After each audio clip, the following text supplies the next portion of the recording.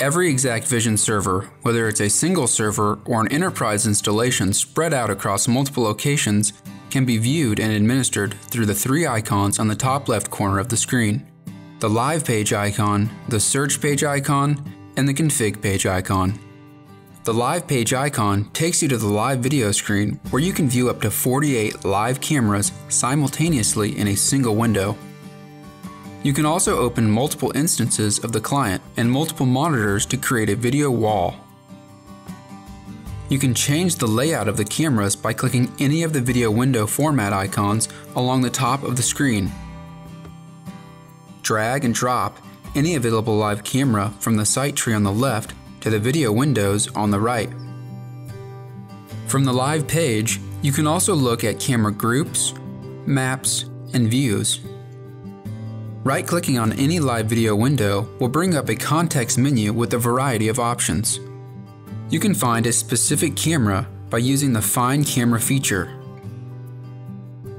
You can also perform a single search for just that camera or all of the cameras currently viewable on the live page.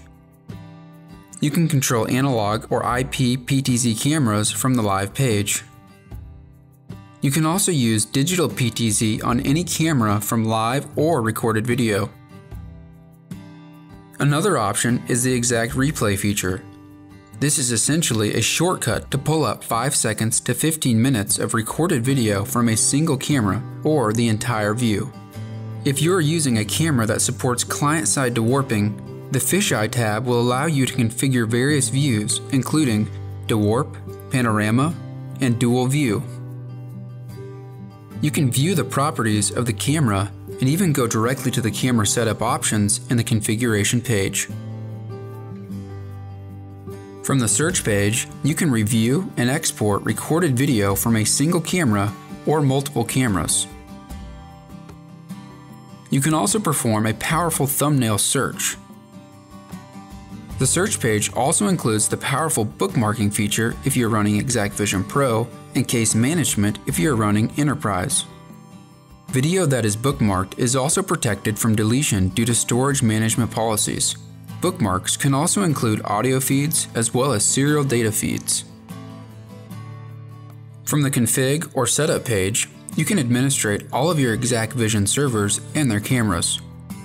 You can add additional exacqVision systems, customize a client and your exacqVision surveillance keyboard or third-party joystick, configure event monitoring, create and edit groups and maps, configure tours, create custom layouts, and access powerful enterprise features if you have the exacqVision Enterprise Server option. Each individual server can be administrated from the config page. Just click on the plus signs next to the server and corresponding components in the site tree to see the various options available. You can add IP cameras and set their recording properties.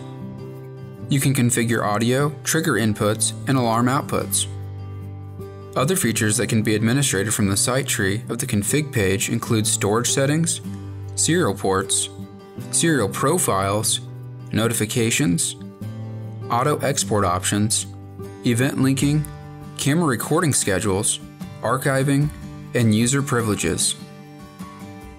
If at any time you have questions about how to use the exacqVision client, try clicking the Show Help icon in the upper right hand corner of the screen. From the Help button, you can click on links that take you to useful pages on the exacq.com website or choose the Help option.